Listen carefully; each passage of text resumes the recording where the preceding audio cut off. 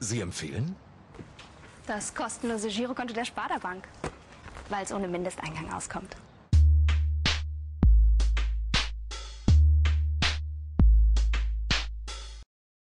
Hallo und grüß Gott. Sie sind wieder da? Wie schön. Herzlich willkommen zu unserer NZ-Klickparade, die heute ein wenig anders laufen wird. Wir werden heute einem Ressort etwas weiter die Türen öffnen, denn wir sind sehr stolz auf unsere hohen Klickzahlen in diesem Ressort. Sie haben richtig vermutet, es ist der Sport.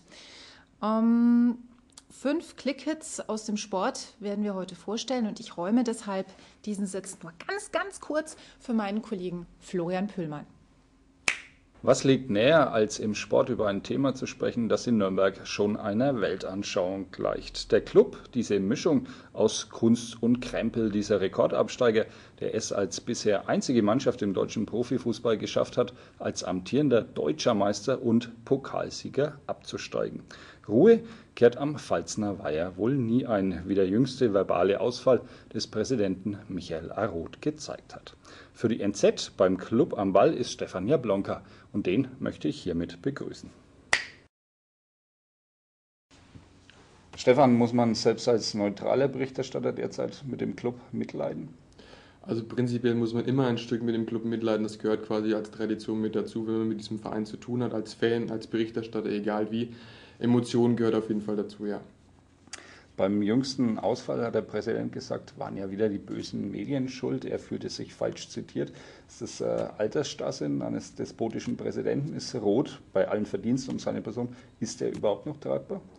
Also ich denke, er hat sich natürlich damit keinen Gefallen getan mit diesen Aussagen und er hat natürlich auch darunter zu leiden, intern noch viel mehr als, als es in der Öffentlichkeit jetzt dasteht, denn äh, so richtig ernst nehmen kann man ihn jetzt wohl nicht mehr. Aber ich denke, man ist äh, mit seinen Verdiensten, also er hat große Verdienste um, den, um diesen Verein und man wird ihm auch das gestatten, äh, sich hin und wieder zu Wort zu melden und will ihn auf keinen Fall momentan noch absägen momentan, da kann noch einiges kommen. Kommen wir zum Sportlichen. Der Club hat jetzt in Ingolstadt gewonnen. Ist damit schon der Umschwung geschafft? Also man steigt nicht mit einem Spiel auf, man steigt auch nicht mit einem Spiel ab. Ich denke, es sind drei, drei, drei Punkte, drei wichtige Punkte zu diesem, äh, zu dieser, zu diesem Zeitpunkt. Ähm, man kann ein bisschen was davon ableiten. Die Aufstellung hat ganz anders ausgesehen als zuletzt. Er hat ja drei neue Spieler reingebracht, Michael Oenning, der Trainer. Und von daher kann man schon sagen, es ist eine leichte Trendwende zu erkennen. Man muss aber jetzt abwarten, ob diese jungen Spieler diese Leistung erneut zeigen können, wie gegen Ingolstadt und gegen Fürth. Da herrschen sowieso ganz andere äh, Derby-Regeln. Derby ist ja Pokal, ist ja wie Pokal, eigene Gesetze hat er ganz bekanntlich. Ähm, kann man das äh, irgendwie erklären, diese Rivalität? Oder es ist ja fast schon keine Rivalität mehr, es ist ja schon Hass zwischen den beiden Fangruppierungen. Äh, zwei, zwei Vereine, die unmittelbar nebeneinander liegen, Nachbarn sind, aber doch so weit auseinander sind. Wie ist für dich diese Rivalität, sagen wir jetzt hiermit, erklärbar? Also ich würde einfach nur sagen, man möchte sich voneinander abgrenzen, obwohl man eben nah zusammen wohnt, eben aufgrund der orthografischen Möglichkeiten äh, Dinge. Aber ähm, ein, als Hass würde ich es jetzt nicht unbedingt bezeichnen. Gerade in den letzten Jahren hat man eher weniger das Gefühl gehabt, aufgrund der Tatsache natürlich auch, dass es weniger Derbys gab, dass da jetzt nicht unbedingt Hass im Spiel sein muss. Aber natürlich ist es ein wichtiges Spiel für beide Mannschaften. Jede Mannschaft möchte gewinnen. Und ähm, ich kann mich nur lange zurückerinnern, Edgar Genen hatte, hatte glaube ich, mal die, die, Größe, die große Feindschaft noch aufs Tapet gebracht und hat da mit seinen Äußerungen dazu beigetragen, dass es wirklich ein Stück weit Hass war. Aber in den vergangenen Jahren, denke ich, ist man wirklich auch normal damit umgegangen und hat das auf das Sportliche reduziert. Hm. Zum Sportlichen, ich lasse dich natürlich nicht ohne einen Tipp gehen, Stefan. Wie geht's aus? Also ich würde sagen, schiedlich, schiedlich, friedlich 1 zu 1. Der erste FC Nürnberg hat momentan größere Probleme als Fürth. Fürth ist schon mehr als Mannschaft gereift, hat auch mit äh, Charles Taggi einen super Torjäger an seinen Reihen. Von daher muss man damit rechnen, dass Fürth kein, einfaches, äh, kein einfacher Gegner sein wird.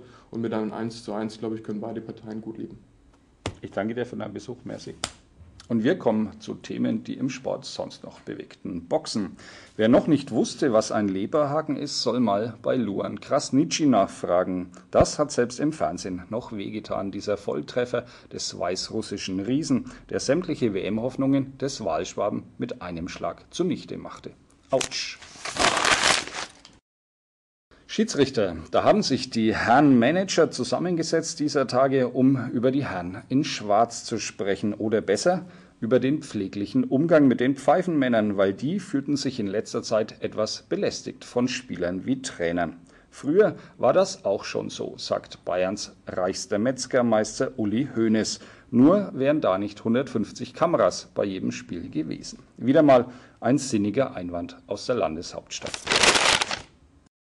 Ice Tigers. No Money, No Goals, soll ein Nürnberger Spieler die 1 zu 5 Pleite in Köln kommentiert haben. Zu Deutsch, Geld schießt also doch Tore sagen die Profis, die ein Dreivierteljahr lang der Hartplastikscheibe hinterher sausen, danach Arbeitslosengeld kassieren und im nächsten Jahr wieder bei einem anderen Club anheuern.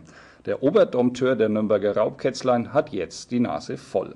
Ich zahle nicht alles, soll Günther Hertel zu den Lohnforderungen der söldnernden Spieler gesagt haben.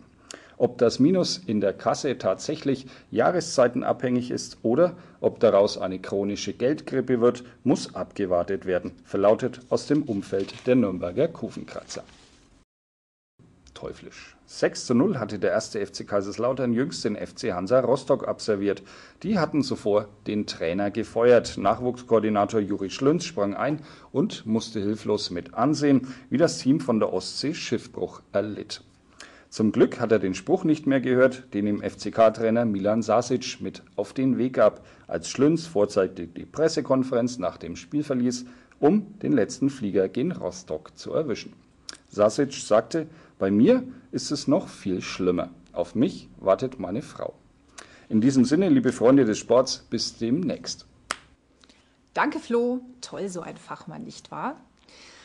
Ähm, wir sehen uns hoffentlich wieder nächste Woche in uralter Frische zur NZ Klickparade. Bis dahin vergessen Sie nicht die NZ auf Papier, bringen Sie Ihr Hintergrundwissen auf Vordermann und bleiben Sie neugierig. Tschüss.